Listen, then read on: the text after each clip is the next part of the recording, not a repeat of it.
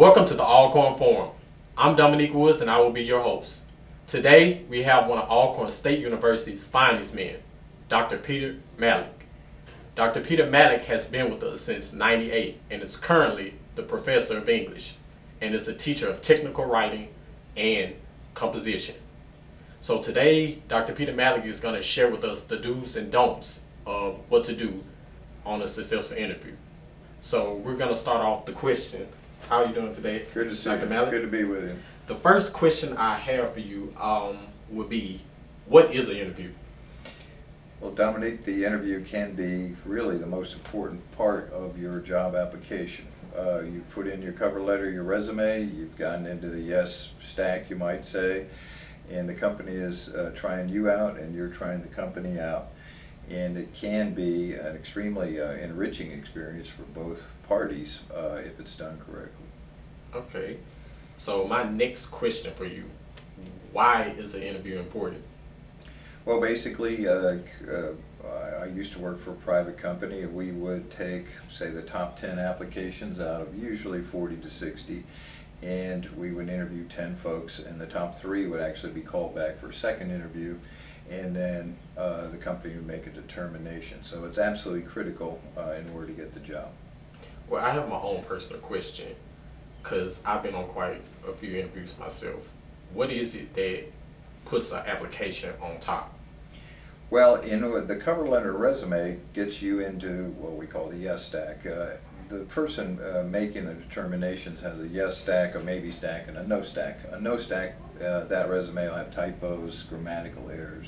The maybe stack is not really a perfect fit. Uh, you're applying for a copywriter, but you got a degree in uh, Spanish, for example. And a yes stack, perfect resume, uh, the qualifications and experience are a perfect fit. That's uh, one of the things I emphasize is um, you, you're being hired for your education and experience, not for anything else. And so that's what we look for. The company is looking for a good fit. Okay, so my next question for you, how do you prepare for a job interview? Well, uh, the most important thing is to research the company, especially the night before. Let's say you had the uh, interview Tuesday at 1, Monday night, you were going to go on their website. You're going to look at an icon that says uh, press releases, about us, something like that. And you're looking for the most recent information.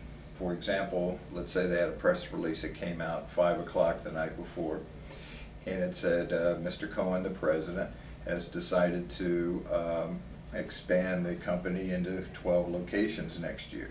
Well, in the interview itself, the interviewer will say, why do you want to work here? And you say, why do I want to work here? You're a leader in your industry.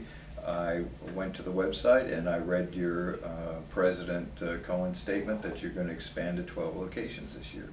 I want to be part of that growth. Well, it's one thing that I wanted to know um, that I've always wondered. People, it's obvious that you wear a suit to interview, but is it true that you wear a specific color when you go? Because I know that's a question yeah, that a lot of people wonder. Yeah, it's a fair question, and you know you can go on the interview uh, on the website, inter, the internet, and see all sorts of different things. What I say is your Sunday best.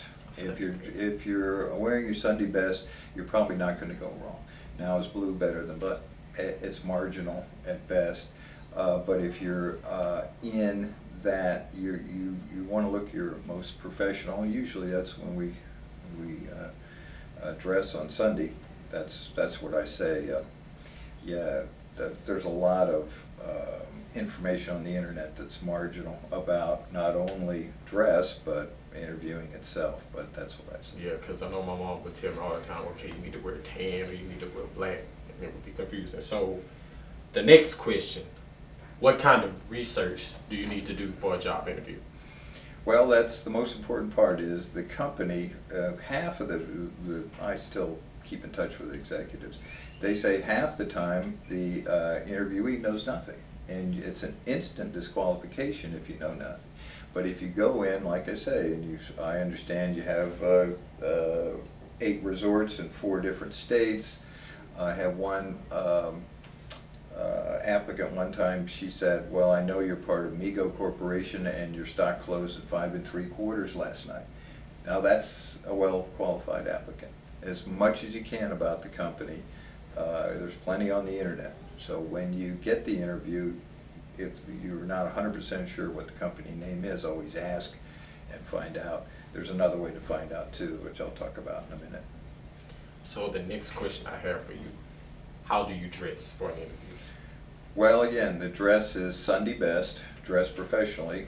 And when I tell my students that if you have an interview Tuesday at one o'clock, you go twenty-four hours in advance. Monday at one o'clock for a lot of reasons. Uh, the most important is you're not sure where the location is, you make all your wrong turns the day before. You get to a giant office park, there are thirty buildings, they all look alike, you want thirty-one, and it says thirteen, it might take you twenty minutes to find it. Another uh, tip, by going twenty-four hours in advance, you can see what everybody else, how uh, the folks who already work there are attired. Occasionally, you go for computer-aided design, and everybody's wearing Hawaiian shirts. So another tip that I can give, if you go 24 hours in advance, you can see how everybody else is attired. I have another question about the dress code. When we're in a suit, are bow ties appropriate? Well, bow ties are, are, are okay. It's, um, uh, again, uh, there's not, once you get into your Sunday best, you're probably there. And individual colors and, and that sort of thing, again, it's, it's marginal. Um, But you do want to look your best, because when you look your best, you feel your best. Another uh, reason to go 24 hours in advance, let's say you're uh, in Houston, it's a hot day, and you really don't want to look disheveled, so you go 24 hours in advance, you find a nice convenience store close to that building, have a soda, relax, maybe comb your hair once more. Um, So when you walk in five to eight minutes ahead of time, uh, you really look sharp instead of disheveled because you couldn't find it, you made nine wrong turns, you just barely made it. If you're one minute late for the interview, you won't get the job. Okay, so my next question for you, what is the first question of the interview? Well, uh, just to finish the conversation, you go Monday, uh, 24 hours in advance, go into the building. The receptionist is there. You say, I uh, have a meeting with uh, Mr. Smith tomorrow at 1. Is there any information you can give me? Am I in the right place? That's another good way to get information uh, about the company that's not on the internet. And she might say, well, yeah, here's the employee newsletter. It just came out two hours ago. So um, the other important thing is you find out where Mr. Smith is, you find out the office. When you go in to the office, don't go in with your head down saying this is going to be the worst thing that ever happened to me.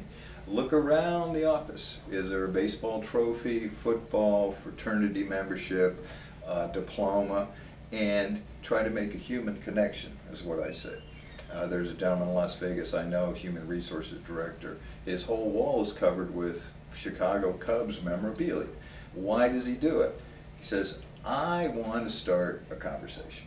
Okay? I want to see the applicant in action. Oh, you're from Chicago. I have a friend in Chicago. Okay. So the first question is probably going to be, tell me about yourself. Okay? And the key in the interview is uh, you've got a clock in your head. There's, it's going to take about 15 minutes. So if you take eight minutes to answer the first question, you'll never get to the others, right? So uh, you can be very short and succinct. So I grew up in Jackson, Mississippi, went to Alcorn State, majored in mass communications, graduated in 2012. Um, uh, in my spare time, I like to uh, uh, play golf. Okay, and then you're going to make your answers succinct. Be quiet.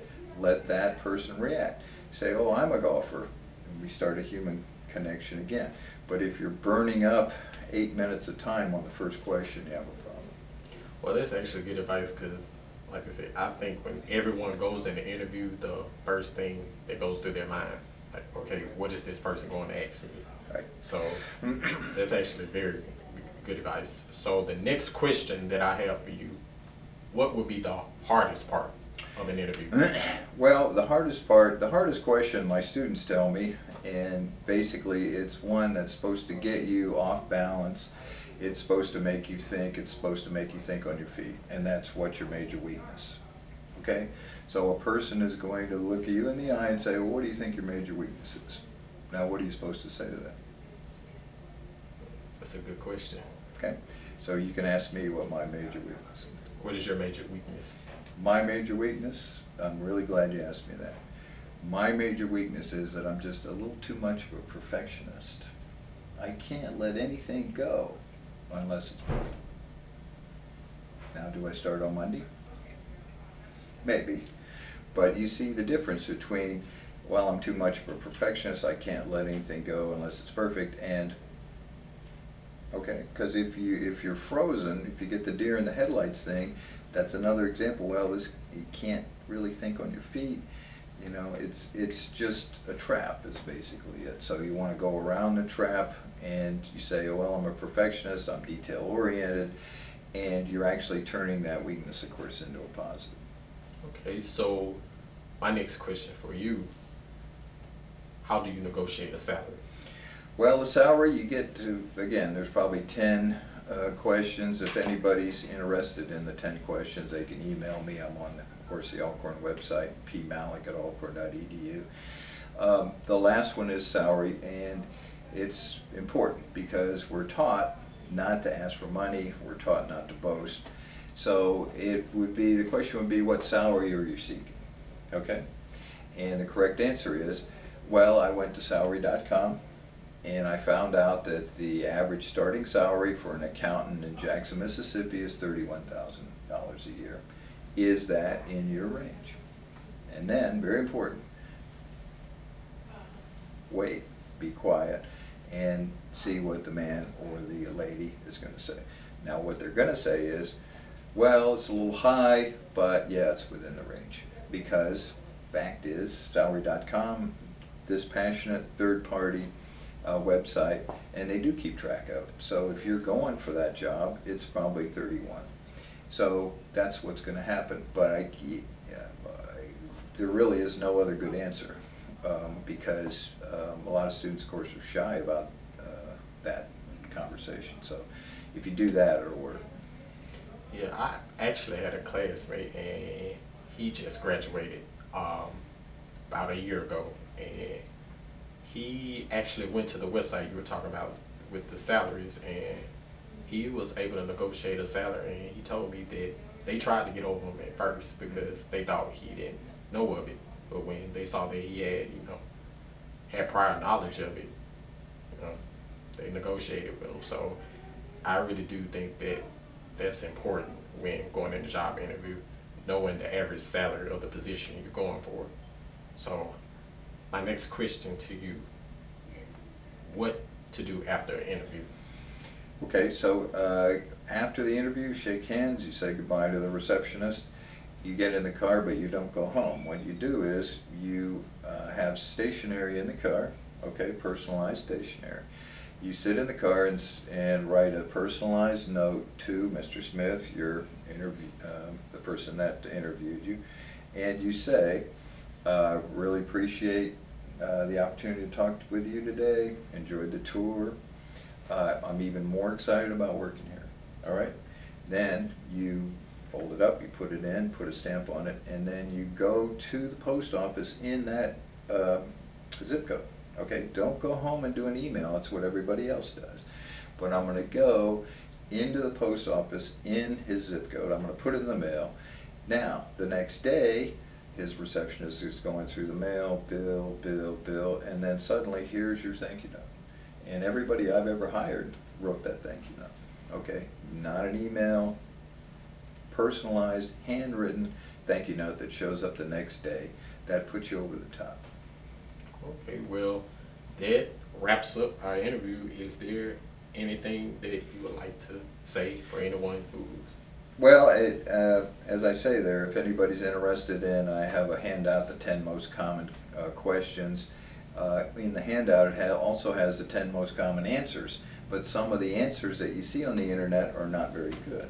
So I can give you the 10 most uh, frequent questions, the 10 most frequent answers, and then the answers that I have kind of road tested over the, uh, over the years. So again, pmalik at alcorn.edu, be happy to uh, uh, send it to you uh, if anybody's interested in more information. Well, thank you for coming. Thank you, And I'm pretty sure this information will do everyone justice. All right, um, again, I'm Dominique Woods. This is the Alcorn Forum with Dr. Peter Malik, and thank you for coming.